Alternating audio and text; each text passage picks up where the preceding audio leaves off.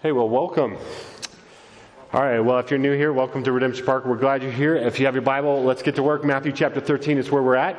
Uh, we're in our series, The King and the Kingdom.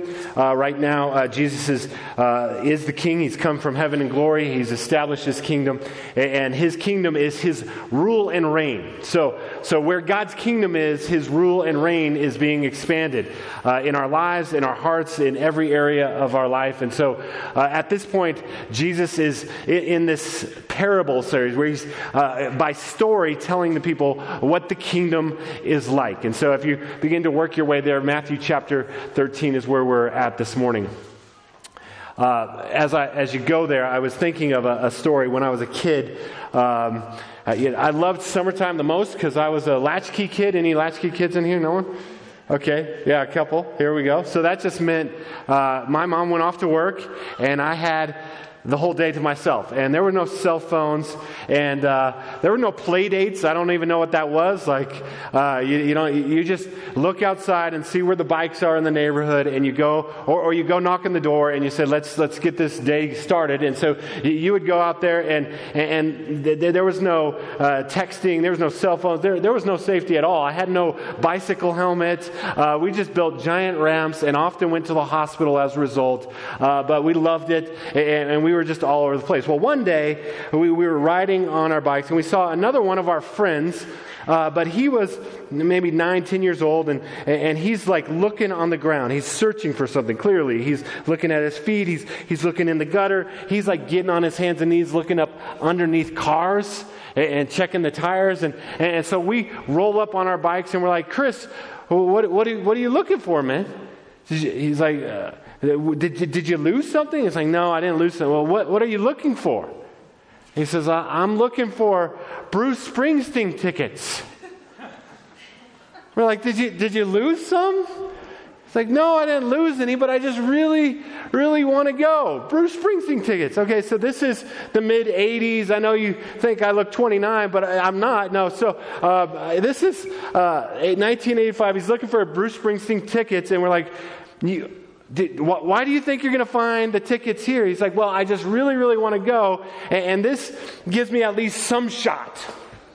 and, and so we're like, Okay, man. And we ride on, and he continues to look. And, and I was just thinking about that this week as we look at these parables, that, that in, in a few hours' time, my, my friend Chris gave himself to Bruce, Bruce Springsteen tickets more than many of us give ourselves to our eternal destiny and the kingdom of God in a, in a searching, kind of desperate kind of way.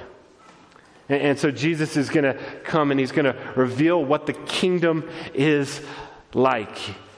And what you need to understand is that, that if, if discipleship was only about learning things about God, then Jesus would have said, even about these parables, hey, uh, number one, the kingdom of God is valuable. Number two, uh, you, you, need to repent of your sins. Like he would have just made propositional statements, but instead he tells stories, and the stories are, invi- are, are an invitation for us to dwell on them, to, to let them roll around in our head and, and, and kind of enter into our hearts so that our whole being gets kind of captured by what he has for us. And so if you have your Bible, Matthew chapter 13, I'll read these parables. So, so we've been in the parables, and, and the first one was uh, the soil. Be careful how you hear. Jesus says, how you hear the word of God uh, can set your foot on a path eternally one way or the other. So be careful how you hear. And then last week, Matthew taught on the, the parable of the weeds and the wheats. And, and he says, as the kingdom advances,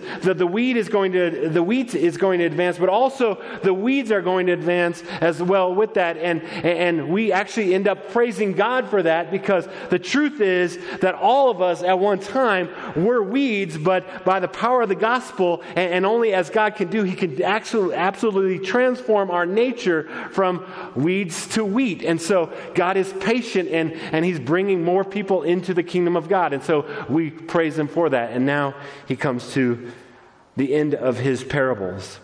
I'll, I'll read it starting in verse 44. I ask you to listen carefully. This is God's word. The kingdom of heaven is like a treasure hidden in a field which a man found and covered up. Then in his joy, he goes and sells all that he has and buys that field. Again, the kingdom of heaven is like a merchant in search of fine pearls, who, on finding one pearl of great value, went and sold all that he had and bought it. This is God's word. Let's pray. So, Father, we come before you now in the name of your Son and in the power of your Holy Spirit, and we're asking, Lord, that you would do a work not just in our minds, but in our hearts, in our lives. Lord, we desperately need, uh, need a word from you. We need a word of encouragement, uh, in some cases, a word of rebuke and uh, a word of exhortation. We need a word of life. Uh, we need living water. We need spiritual bread. And so I pray now that you would bring those things to your church in this moment. In Jesus' name, amen. Amen. Again, Jesus is telling stories to spark your imagination, to get you thinking. What would that be like? In fact, uh, in the first century, this is not quite as crazy as it might sound in two ways. One, they would have all known merchants, and they can imagine a merchant who becomes obsessed with his wares, obsessed with pearls.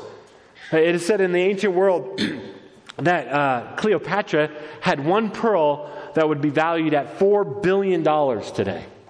And so they're like, wow, yes, there is a pearl. And so he tells this story. In the second story, he tells the story of this merchant who becomes obsessed and, and he's traveling and he, he, he just, he doesn't know what he's looking for, but he knows when he'll find it. He knows when he sees it, he'll know what it is. And so he begins to travel. Now imagine if you were that merchant. You're thinking, there's something out there.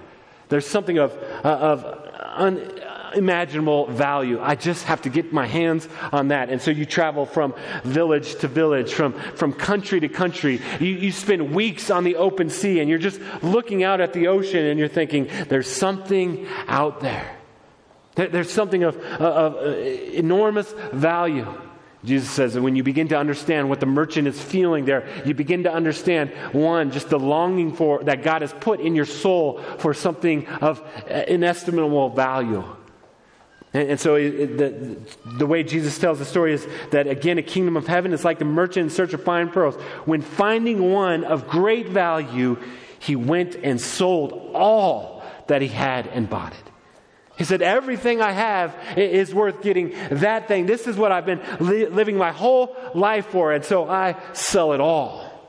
So, so, so the crowd could imagine this, that they could picture themselves in that. But, but the story I really like, and the story uh, above, I, I, think you cannot understand the kingdom of God. You cannot understand the gospel. You cannot understand Jesus without understanding this parable.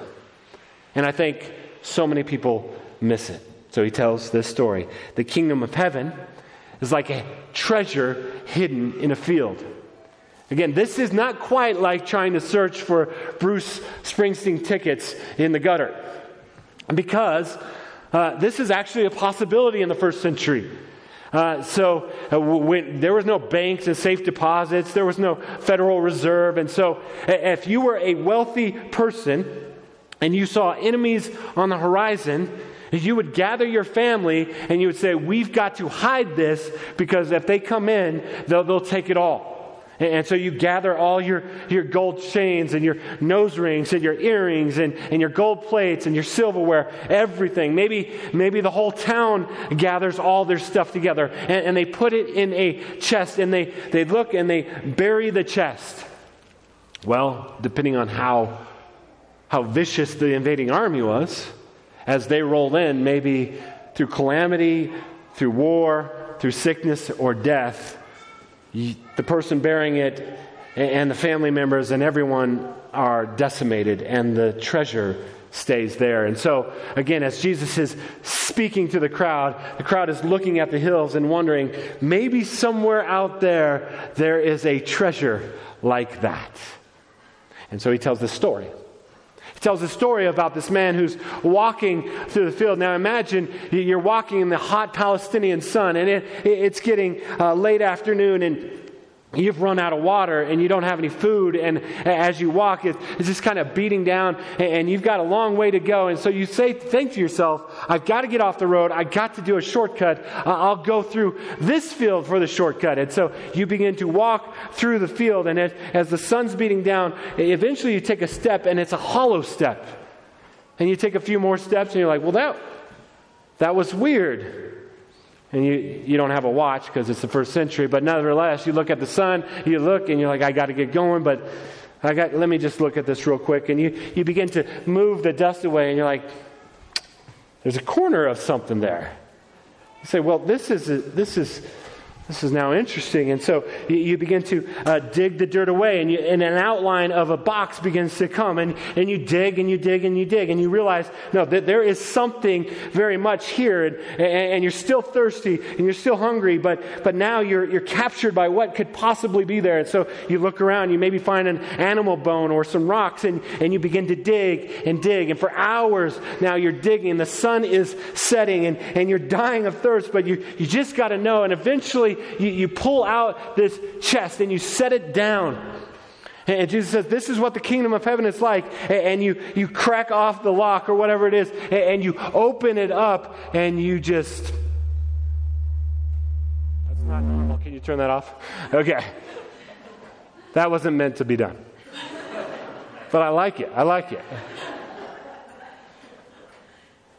And uh, you look in, and you cannot believe your eyes. You're like, shut up! Shut up! No way! Oh, no way! I can't. I don't want anyone to know.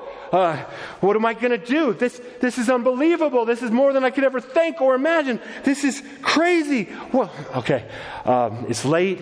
Uh, one, I can't just drag this through, uh, and I can't show up in town with, with more wealth than the whole country in this moment. Uh, uh, furthermore, whoever owns this field uh, owns what this treasure is. So, um, well, what do you do? Jesus says, here's what you're going to do. You're, you're going to put it back in the hole. You're, you're going to dig over. You're going to put the rocks back on it. You're looking for some leaves and some branches, and you're going to put those over. And you're looking, you say, okay, there's a tree here, and the mountain's here, and here's here. Okay, so got to remember tree, mountain, field, tree, mountain, field. And, and you go off. And how do you go off?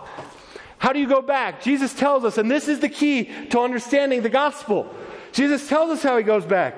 He says this, which a man found and covered up, then in his joy, in his joy, he goes and sells all that he has and buys that field. Why? Why joy? Maybe you thought the kingdom of heaven was like uh, following a bunch of rules, and, and, and maybe you thought the kingdom of heaven was like, hey, God doesn't want you to have any fun, but in the end, you get, at least get to go to heaven. Maybe you thought it was just about uh, doing well, doing good enough. No, Jesus says the kingdom of heaven is like a treasure hidden in the field. When a man found it, he covered it up. And then in his joy, he does what? He goes and sells all that he has, all that he has, and buys that field. Why? Because it's worth it. So imagine this man now traveling, gets, gets into the village late and, at night, uh, is looking for some water, gets some water, and, and people just see him grinning from ear to ear, and they're like, What's up with you? And he's like, I can't tell you, but do you want to buy my cow? They're like, okay, what, uh, we'll buy your cow. And, and so maybe a few weeks go by, and hey, do you want to buy my house? Sure, we'll buy your house. Did you want to buy my, my boat and my fishing nets? They're like, but if we, if we, if we buy your boat and fishing nets, how are you going to survive? Oh, I'll survive. Just, just buy my boat, please. And maybe his friends and family are concerned. Like he has lost his mind. Like, what's wrong with you? You sold your cow, you sold your house, you sold your boat. Like, something's wrong with you. And he's like, no, just trust me. And there's nothing wrong with me. Just trust me. Jesus says, when you start to understand what that man feels, you could start to understand what the kingdom of heaven is like. Isn't that so much better than saying, hey, the kingdom of heaven is valuable? Now, there is this joy. Notice that when he has joy, it isn't like, oh gosh, I got to sell my cow, I got to sell my house, I got to sell my boat. No, every time he sells something, he actually gets a little bit happier. Sold my cow, I'm that much closer. I sold my house, yes. He knows. Why does he know? Because he has anticipation. There is a longing. There is something uh, of such value that's going to just fill his life in, in, in, in maybe a few weeks or months or however long it takes. But he knows it doesn't matter what it costs him, it's going to be worth it in the end. Does anyone look at your life and say, You're crazy? Oh, you're crazy that you're so happy and yet you're living so strangely. This is Jesus says, This is what the kingdom of heaven is like. It's valuable. So if I say to you, hey, I've got something, I want to sell it to you, it's 500 bucks. You'll be like, what, is that expensive or cheap? I, I want to know, is that expensive or cheap? If I, if I sell you this thing for 500 bucks, you say, well, I need to know what it is. Well, it's a, it's a Bic pen, you know, ballpoint pen. Like, You're crazy. No, I'm not, I'm not giving you 500 bucks. But if you say, oh, it's a Ferrari, you'd be like, hold on, I'll, I'll be right back. I'm going to get the 500 bucks. And this is what Jesus is saying. Look, if it costs you everything, if you have to go full on sell out, if you lose everything in this life, and in the end you get the kingdom of God, your joy will be through the roof. Through the roof. So again, we can understand this intellectually. And one of the great tragedies of American Christianity is that we've made discipleship intellectual only. If you learn enough truth, if you put enough uh, verses in your head, then you must be mature. You must have really made it. But what Jesus is doing in telling the story is saying it's not just about knowing, it's about feeling, it's about your whole being being invested. It's your emotions, your joy, your hopes, your dreams. God wants it all for you to understand what discipleship looks like. So, why is there this disconnect? I think most of us, many of us in this room, can listen to Jesus' parable and say, Yes, the kingdom of heaven is so valuable. It's just amazingly valuable. That's what's for lunch. I got a work project tomorrow. Can we wrap this up? I hope he doesn't preach too long. Why is there a disconnect? Where is the man or the woman who understands that, that if it costs you everything to pursue the kingdom, it is worth it? Where is the, where's the desperation? Where is a man or woman who just desperately wants to experience more and more of God in their whole life, in every area of their life? They want God's kingdom, His rule, and His reign to express itself. Where's this kind of longing, a fasting, a, a crying out to God?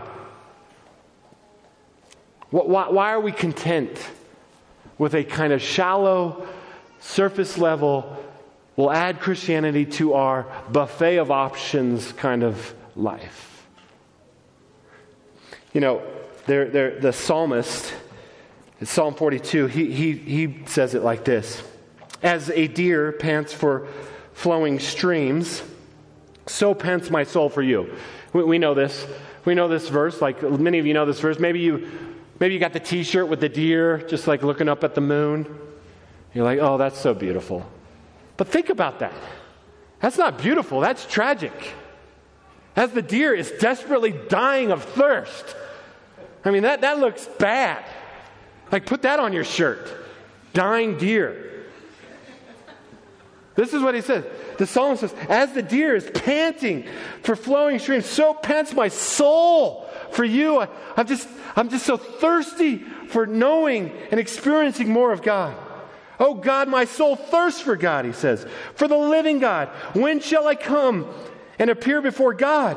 My tears have been my food day and night. So just through the night, he's just longing, pressing on. There's a desperation. And I'm asking if, if what Jesus is saying is true in the parable of the hidden treasure, why isn't that more of a reflection of who we are? Psalm 73, the same thing. The psalmist at the beginning of the psalm in Psalm 73, he, he looks out at the world and he's like, God, why, why do the wicked prosper so much?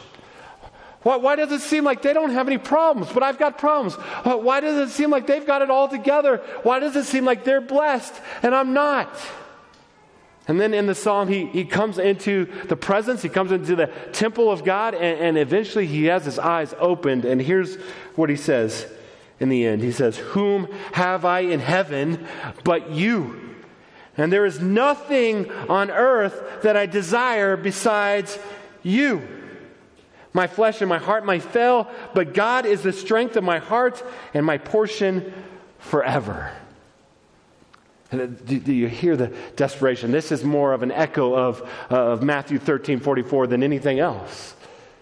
So, so, why, again, why are we content with kind of the kiddie pool, warm water Christianity? Well, I, I think it's, it's because it's a struggle that we've always had.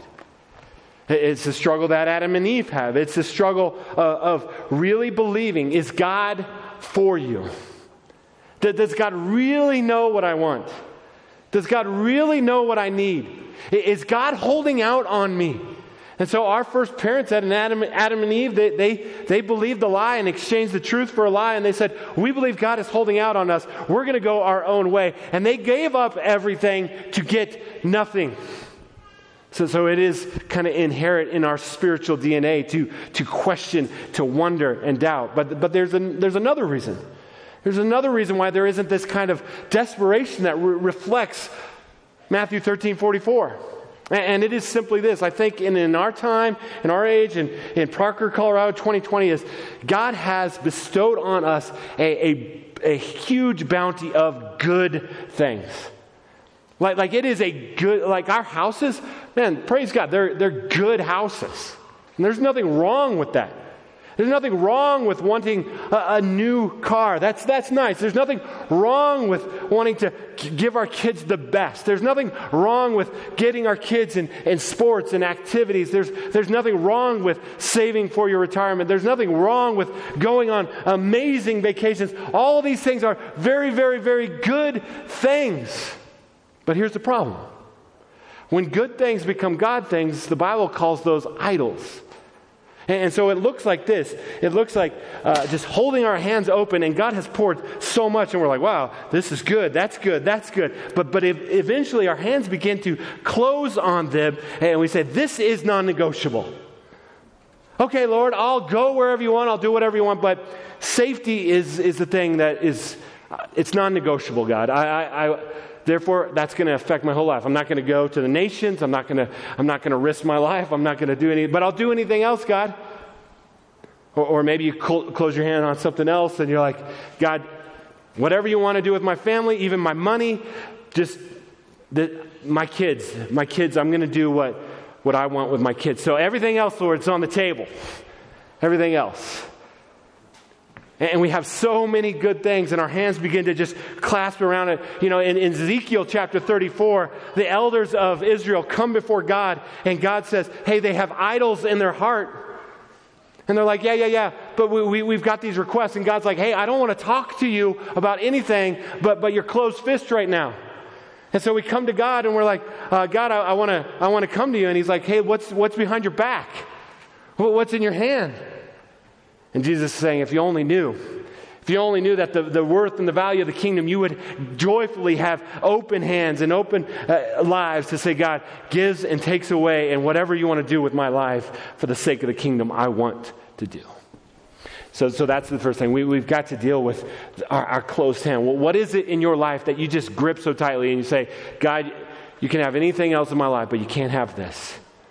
You can't have my career plans. You can't have my, my, my kids' uh, sporting events. You can't have my house. You can't have my vacation plans. You can't have my retirement plan. What is it, the thing that you just grip so tightly? And God is saying, I want to talk about that. Because I want to take you to a place of unimaginable joy, but you won't get there with gripping these things so tightly.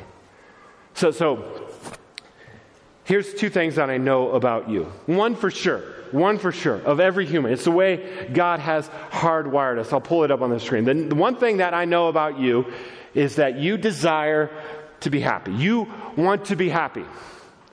Like whatever you do, every choice that you make, in some way, shape, or form, is, is shaped by this desire for happiness. And so, uh, everything you buy, everything you do, the reason you're here today, in some way, shape, or form, is you are seeking your happiness.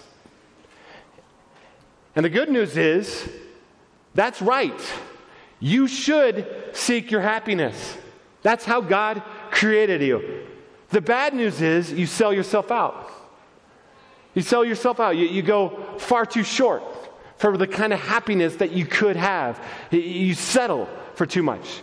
So, in the most overquoted uh, quote from C.S. Lewis in the history of C.S. Lewis, I, I, I, tell myself I can do it once every two years. Uh, he says this It would seem that our Lord finds our desires not too strong, but too weak.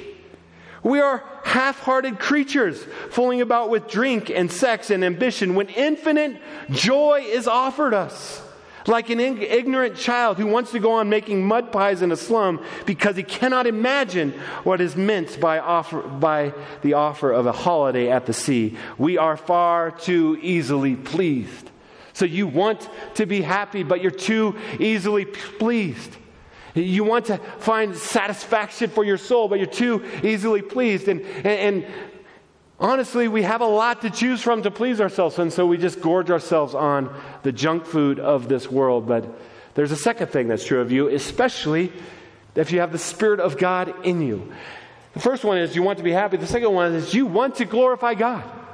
Like there's something in you that says, I want my life to glorify God, especially if you're a follower of Christ. I, I, think just by virtue of being an image bearer, you have this, but, but if you're a follower of Christ, the, the Bible says you have the Spirit of God living in you, and, the, and, and there's this desire somewhere, maybe latent, maybe, maybe small, but you feel it somewhere. I want to glorify God. Now, here's the deal with these two options the enemy is going to come, and the flesh is going to come, the world is going to come, and it's going to say, These things are at odds. You can have one, but not the other. And so Satan's going to say, Since you can only have one, you might as well choose happiness. That, that's what you should choose. And so just go this way. And so that's what our first parents thought and believed. Well, we're going to choose happiness as to glorifying God. But Jesus is going to come along and he's going to say, These things are not at odds, they go hand in hand. In fact, you cannot have one without the other. You cannot have one without the other. This is what the parable of the hidden treasure is. You want to be happy, you want to glorify God. Well, they go together. And so, uh, the Westminster, Westminster Shorter Catechism, question number one what is the chief end of man? The chief end of man is to glorify God and enjoy Him forever. That's the purpose by which you live.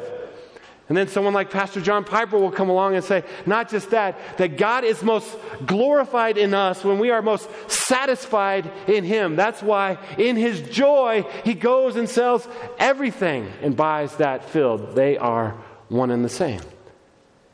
There's still going to be a, a, tension in your soul to wrestle with those things. But how, how do we get there? How, how do we actually make progress in this? How, do, how does the, the, the parable really take root in our lives? I, I think there's, there's four things. And the first one is just this we need new eyes and new hearts. New eyes and new hearts. That's, that's just what the Bible says that, that we are dead in our sins and transgressions, Ephesians chapter 2 that, that, that, we are blind, that we are deaf. And so this is the work of God by the Spirit of God uh, applied to us in the gospel of God. So Jesus Christ left his throne in glory.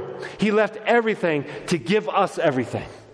And on the cross, he exchanged what you deserved for what he deserved. And, and he gave you his righteousness, and he conquered death and the grave. And as he did that, by grace through faith, you can come to him. And the Bible says, if you come to Christ, you are a new creation. Galatians 2.20. The old is gone, the new has come. You have new eyes. You can't do this on your own. You can't work this up. You can't do enough spiritual things. God has to give this to you.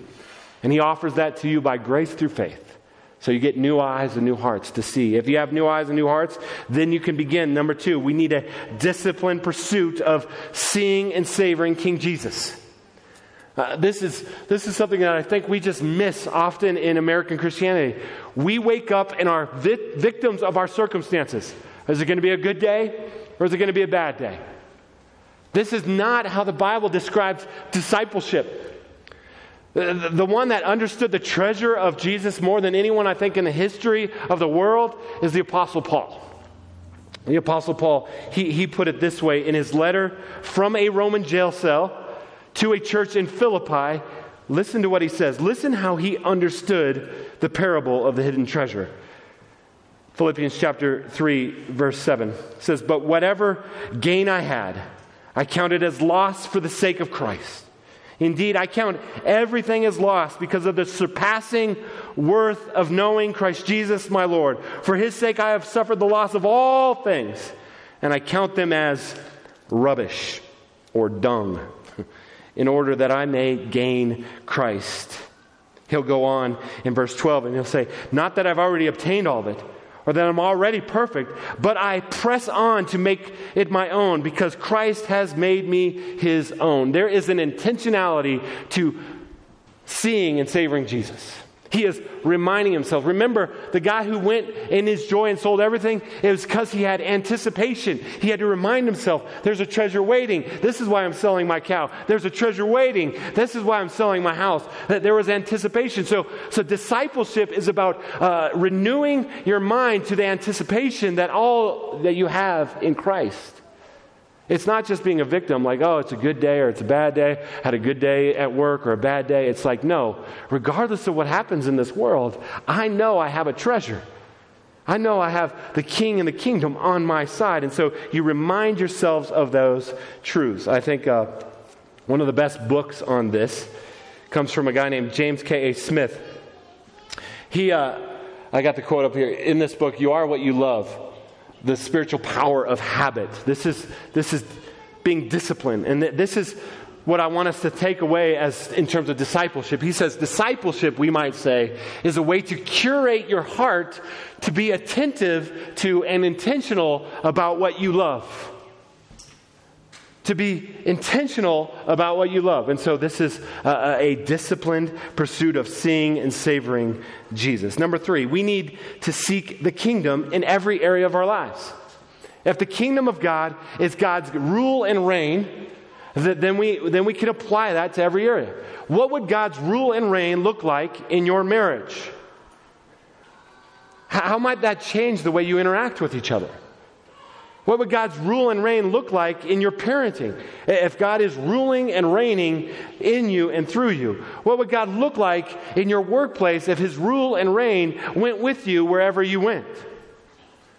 I mean, whatever it is, what would, God, what would it look like uh, in your generosity if God's rule and reign was, was, was on the throne and not your own desires and will?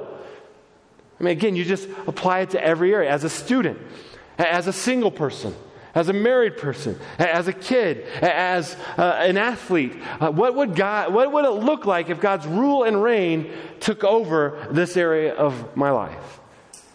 And then finally, I think if we are going to understand this and wrap our hearts and our lives around this, we need to pursue the king and the kingdom together. Together.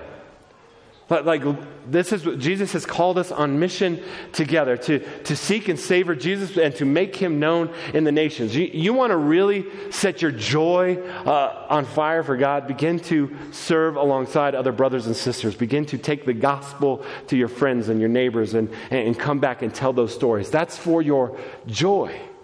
And so we, we gather and we remind each other we, are doing this together. We, we gather in our gospel communities and, and we pray for another, one another. We remind each other. We, we gather in our core groups. Those are two or th- those are three people gathered together uh, in mutual discipleship where we, we check in on one another and we, we ask each other how you're doing and we confess our sin and we, we, we spur one another on towards love and good deeds. You are fooling yourself if you think you can pursue the kingdom by yourself. And so, to the end that God is glorified and the nations are satisfied. May He do that work in us. Let's pray. So, Father, we thank you for your word to us this morning. Thank you for the kingdom of heaven. Lord, give us that joy. Remind us of the inheritance we have in Christ. Remind us that in Christ we have been blessed with every spiritual blessing. Remind us that this life is not all there is. Remind us that there is a treasure that is worth giving everything for. Lord, give us open hands for you to give and take away, and let us not grip anything too tightly in this world. And then, Lord, send us out for the glory of God and the joy of all people. We ask in Jesus' name. Amen.